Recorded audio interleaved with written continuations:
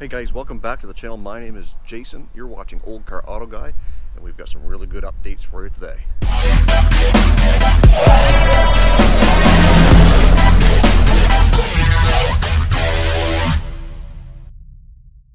First of all, I want to start off with Project Bubbles, and to let you know that I do have four lift spacers for each corner of the vehicle. Each strut will get a two inch lift, which should bring the vehicle up a little bit Believe it or not, the only place I could find those was on eBay, and they are coming out of Russia. Yes, Russia. Once we get the lift done, then we'll be able to put some uh, tires on it.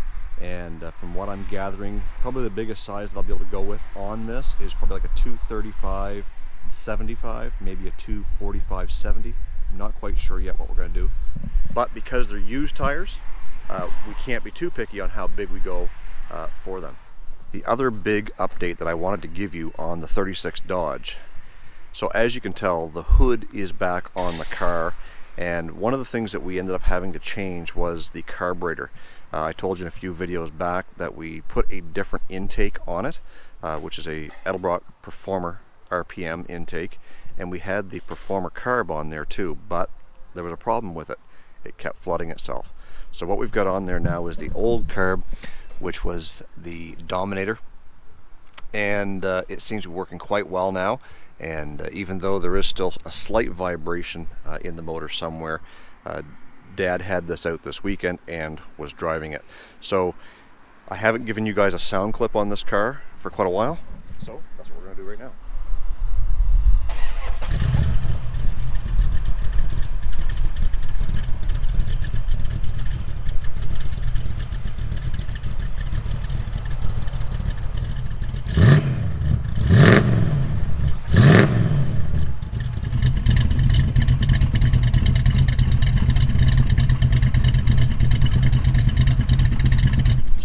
Can hear the cam very well. And now that this motor is working almost A1, uh, granted we still have that little bit of a uh, vibration in it, everything works great. So I think uh, we were going to take it for a drive today in this video, but the weather's not cooperating. It's spitting raining off and on, so I don't think we're going to take it for a drive. One of the things that Dad and Tim did manage to get hooked up on this car is a backup camera. So as you can see, the backup camera is working.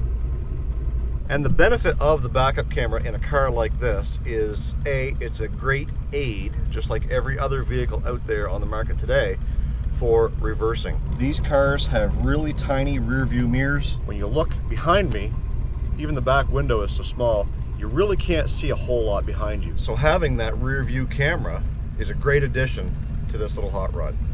And there it is, mounted just above the license plate, so it kind of blends in a bit, you can hardly see it. I'm not sure if I showed you this in other videos or not, but we also had, or Dad had, some extra pinstriping done to resemble the old Dodge Brothers emblem on the back trunk, and I think it looks great. So before we get into the shop, Tim's doing a bunch of grinding on the uh, rocker panels on the new shop truck, but I wanted to take you in and show you how far we've gotten so far.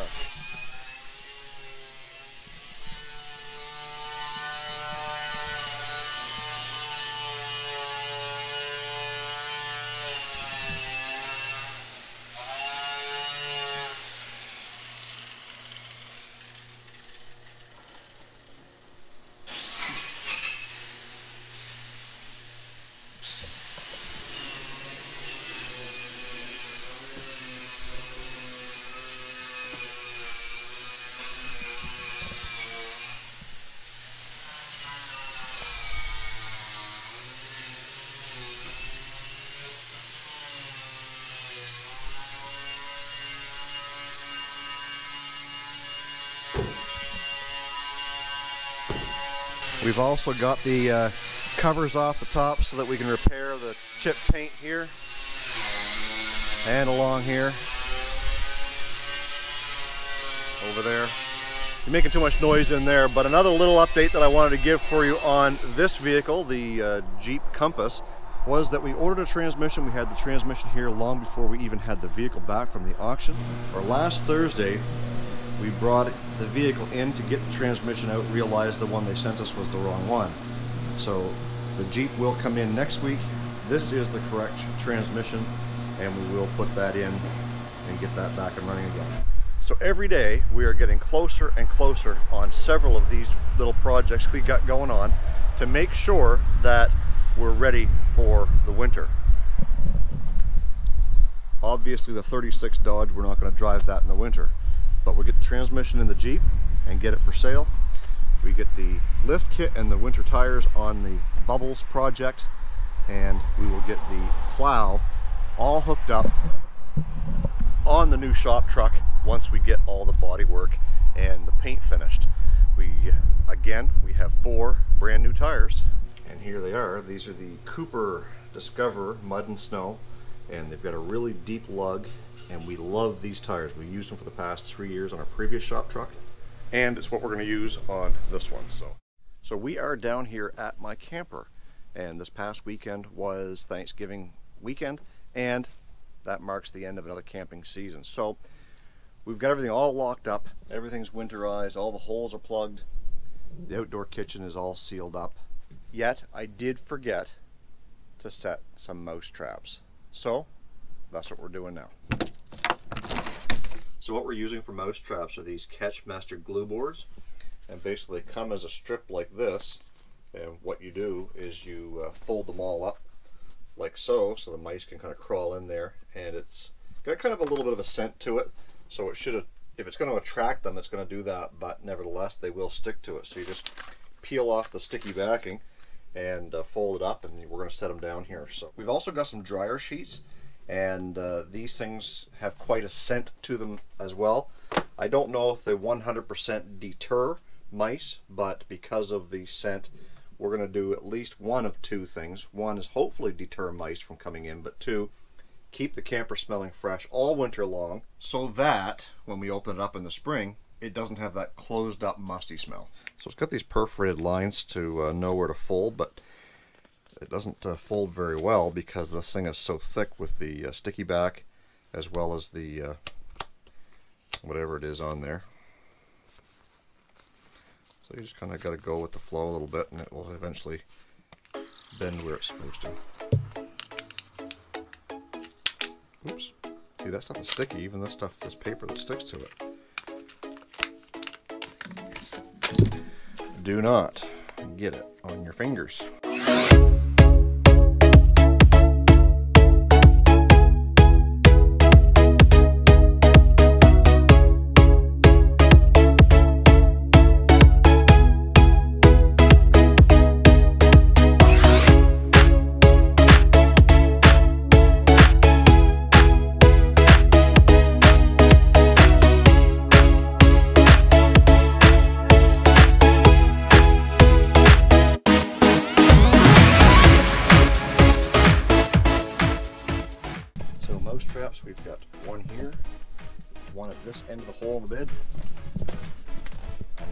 Another at this end, four is behind the couch, five, six, seven in the cupboards, eight, nine underneath the table, 10 is in the bathroom, 11 is right there in the hall, and 12 is inside the bunk bed. So, most traps are set, dryer sheets are out, this place smells amazing.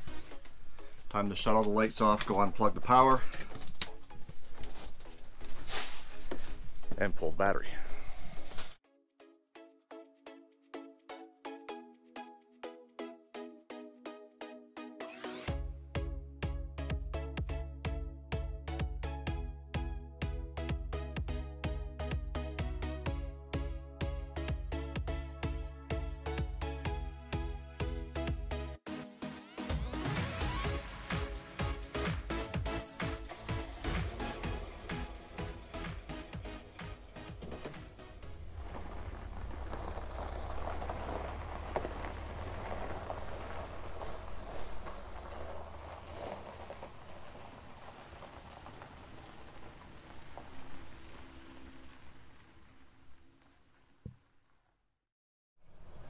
So that's it guys.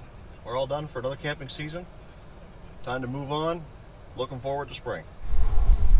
If you are looking for Olde Carr Auto Guy t-shirts and or hoodies, I will leave the link in the description below. Those are on sale. $15 for a t-shirt, $25 for a hoodie, and they have them in multiple colors. So choose wisely. I've got mine ordered and uh, hopefully be wearing them very soon. We do have to make a minimum order before they can ship. So we're hoping by the end of the month that we'll have enough sales to process that order for early November. And the last thing, like I always remind you guys, please stay focused on the windshield and not the rear view mirror. I love you guys. God bless. We'll see you in the next upload. Thanks for watching. Don't forget to subscribe.